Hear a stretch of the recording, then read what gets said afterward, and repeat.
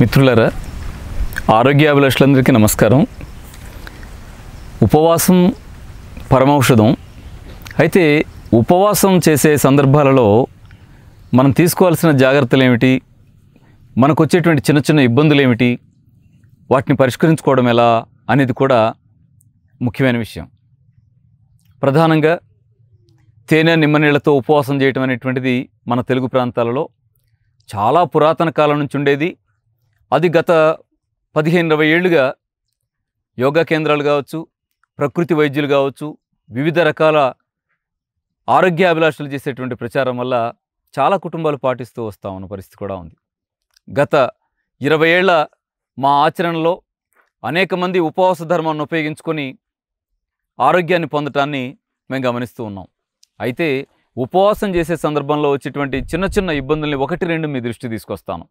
ఒకటి ఉపవాసం చేసే దానిలోనే చిన్న పొరపాటు ఏం జరుగుతుంది అంటే చాలా కుటుంబాల్లో మతం పేరుతో సాంప్రదాయాల పేరుతో కూడా ఉపవాసం చాలా అలవాటు ఉంటుంది అది దీర్ఘ ఉపవాసాలు కూడా ఉంటాయి. ఉదాహరణకి ఫెస్టివల్స్ సందర్భంగా క్రిస్టియన్ మతంలో కానీ ముస్లిం మతంలో కానీ హిందూ మతంలో కానీ మతం పేరుతో కూడా నెలలు నెలలుగా ఉపవాసం చేసే సిస్టమ్ ఉంటుంది. అయితే ఇక్కడ చిన్న జాగ్రత్త అవసరం అవుతుంది.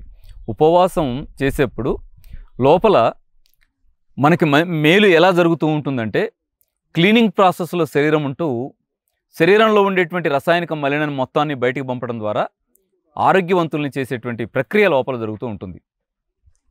ఇది తెలిసే మనవాళ్ళు సాంప్రదాయంలో భాగంగా మనకు అలవాటు చేసి ఉంటారు.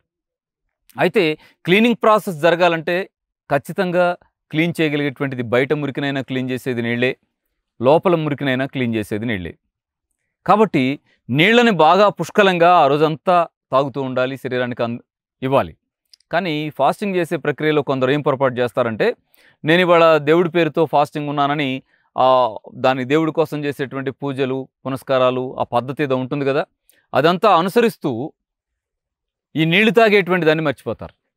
మర్చిపోయి మధ్యాహ్నం దాకా అలాగే అలాగే అలాగే ఆ భక్తి పరాణిలో మునిగిపోయి చేత కావడం లేదు కళ్ళు తిరుగుతున్నాయి ఏం చేద్దామని ఒక ఫ్రూట్ తింటే పోదేనో పండు తినేస్తారు కానీ మంచినీళ్ళు తాగినట్టయితే ఫాస్టింగ్లో ఎనర్జీ లెవెల్స్ పడిపోవు. అలాగే మంచినీళ్ళు తాగితే తాగినట్టయితే ఫాస్టింగ్లో క్లీనింగ్ ప్రాసెస్ బాగా జరిగి మీరు ఏ విశ్వాసంతోటైనా చేయండి. కావలసినంత ఫలితం వస్తుంది అని దాన్ని మనం గ్రహించడంలో పొరపాటు పడతాం. ఆ చిన్న పొరపాటును మనం సరి చేసుకోవాలని కోరుతున్నాను. అలాగే ఫాస్టింగ్లో జరిగేటువంటి మరొక ఇబ్బంది ఏమిటంటే ఫాస్టింగ్లో తలనొప్పి వచ్చేటువంటి అవకాశం ఉంది. చాలా మందిలో ఈ తలనొప్పి కనిపించదు. కానీ నోటికి ఒకళ్ళకో ఇద్దరికో తలనొప్పి వచ్చే అవకాశం కూడా ఉంది. నాకు అనుభవంలో చెప్తాను. దగ్గర దగ్గర ఇది పదిహేడు సంవత్సరాల క్రితం పదిహేను నుంచి పదిహేడు సంవత్సరాల క్రితం రోజుల్లో జరిగినటువంటి ఒక ప్రక్రియ. మాకు బాగా దగ్గరగా ఉండేటువంటి మిత్రులే ఆనాడు మన కేంద్రానికి వచ్చినటువంటి మిత్రులలో ఒక ఇద్దరు ఉండేవారు. ఒకటి రంగారావు గారిని ఉండేవాడు రెండు వేణుగారిని ఉండేవాడు. ఈ ఇద్దరు మిత్రులు పదిహేను పదహారేళ్ళు దాటిపోయింది. ఆ టైంలో వీరిద్దరూ కూడా ఇవాళ ప్రముఖులే సమాజంలో. వారిద్దరూ మేము ఫాస్టింగ్ ఉంటాం రామచంద్రరావు గారు చేద్దామా అన్నారు. సరే అండి అని చెప్పి మొదలెట్టాం.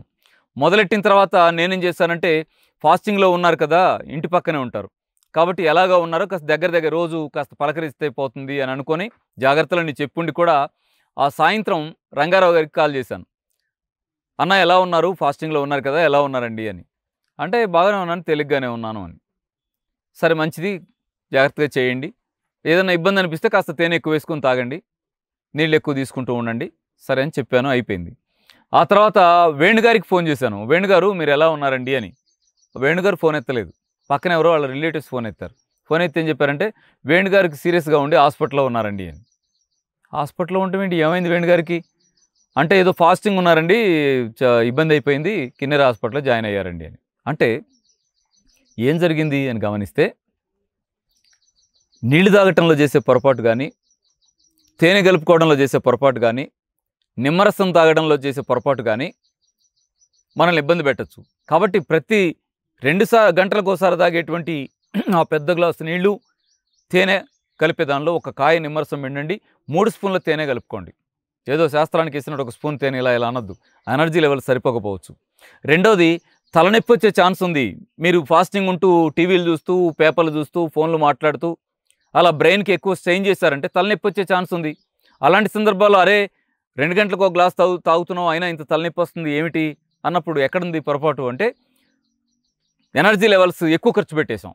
అవి భర్తీ కావడం కోసం అవసరమైతే మరోసారి తేనె కలుపుకొని నీళ్ళు తాగేయండి. కవర్ అయిపోతుంది.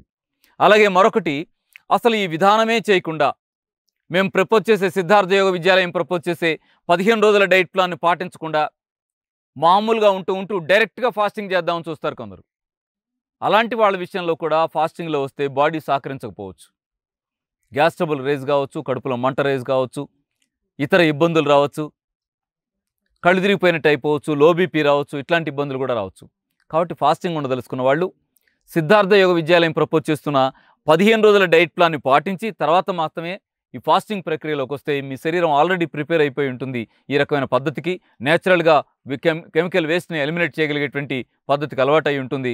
మీరు ఫాస్టింగ్ను కూడా విజయవంతంగా హాయిగా రోజు తింటున్న రోజు ఎలా ఉన్నారో అంత ఎనర్జీ లెవెల్స్ మిగుల్చుకుంటూనే మీరు ఫాస్టింగ్ని ముగించుకోవచ్చు. ఆ తర్వాత హాయిగా జ్యూస్ తాగేయండి పళ్ళు తినేయండి.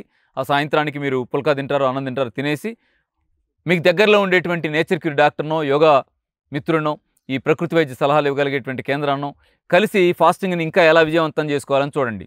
మిత్రులారా నెలకొక రోజు మాత్రమే ఫాస్టింగ్ ఉండండి అనేటువంటిది సిద్ధార్థ యోగ విద్యాలయం ప్రపోజ్ చేస్తుంది. అలా కాకుండా నేచర్ క్యూర్ ప్రక్రియలో వారానికి ఒక రోజు ఫాస్టింగ్ ఉండటం ఉంటుంది. అలా కాదు దీర్ఘ ఉపవాసాలు ఉంటాయి. ఈ పద్ధతి అంటూ ఉంటుంది. దీర్ఘ ఉపవాసాలకు పూనుకునే వాళ్ళు ఇంట్లో పూనుకోవద్దు అనేది మా విజ్ఞప్తి. మీరు దీర్ఘ ఉపవాసాలే చేయాలనుకుంటే మీకు ఇవాళ జిల్లాకు ఒక ప్రకృతి ఆశ్రమం ఉంది. ప్రతి జిల్లాకి సుమారుగా ఏ ఒక జిల్లాకు లేదో కానీ ప్రతి జిల్లాకి ఒక నేచర్ క్యూర్ హాస్పిటల్ ఉండేటువంటి పొజిషన్ వచ్చేసింది.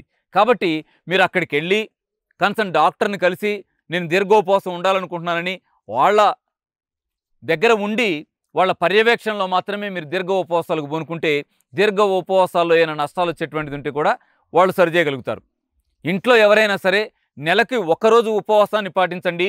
లేదా సిద్ధార్థ యోగ విద్యాలయం చేస్తున్నటువంటి ఆ five days special diet plan ఉంది కదా దాన్ని పాటించండి. అలా మీ ఆరోగ్య రక్షణకి మీరు పూనుకోవాలని మనస్ఫూర్తిగా మిమ్మల్ని కోరుకుంటూ ఉన్నాం.